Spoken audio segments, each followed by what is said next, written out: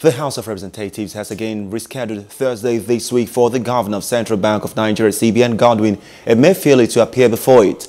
This is the second time the CBN boss has failed to appear before the House after motion at plenary to not only suspend the cash withdrawal limits but for Emefiele to brief members on the reason for the new policy.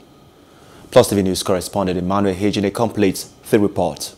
The decision to invite the CBN Governor Emefiele again was taken during plenary on Tuesday, and it came after the Speaker, Honorable Femi Gbajabiamila, read a letter from him requesting that a rescheduled date be given for his appearance as he was out of the country. This House gets a proper full briefing.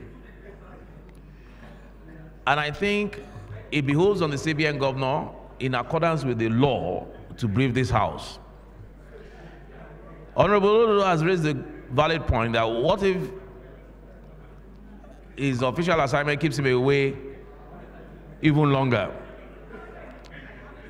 At this point, we will be requesting to find out what that official assignment is that will keep the CBN governor away for almost two weeks.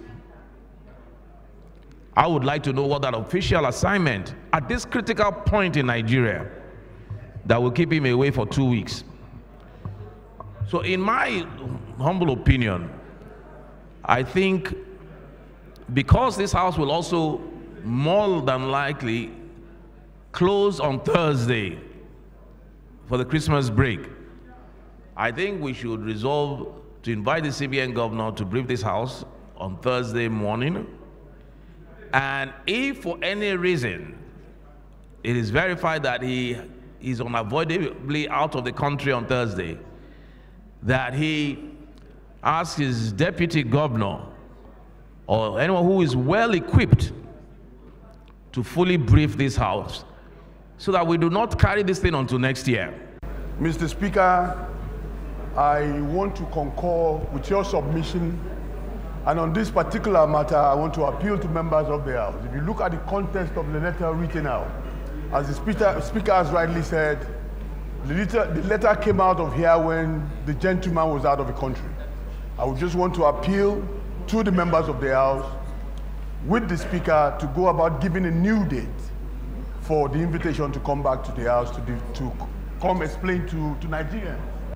The crafters of the Nigerian Constitution, Mr. Speaker, did not make error to create House of Representatives to call for public office holders to account for their activities on behalf of Nigerians. I think at this point in time it is quite important for us to let such public office holders know that it is not Right Honorable Femi Gbajabiamila that is summoning the CBN governor or Honorable Yusuf Gagdi or Deputy Speaker or any member.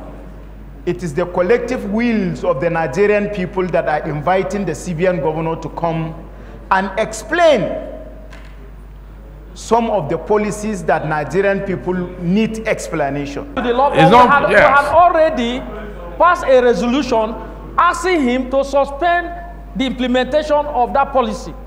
And Senate has also equally concurred. So we, Senate, had all, has also concurred with the resolution we passed. So whether he comes or he doesn't come, we have passed a resolution asking him to suspend and Senate has concurred. So what we should be looking at is to see whether he will disregard the concurrent, the both chambers resolution. The House had invited the CBN governor last week to explain the rationale behind the cash withdrawal limit, which it asked the CBN to suspend in concurrence with its Senate counterparts. Hello. Hope you enjoyed the news. Please do subscribe to our YouTube channel and don't forget to hit the notification button so you get notified about fresh news updates.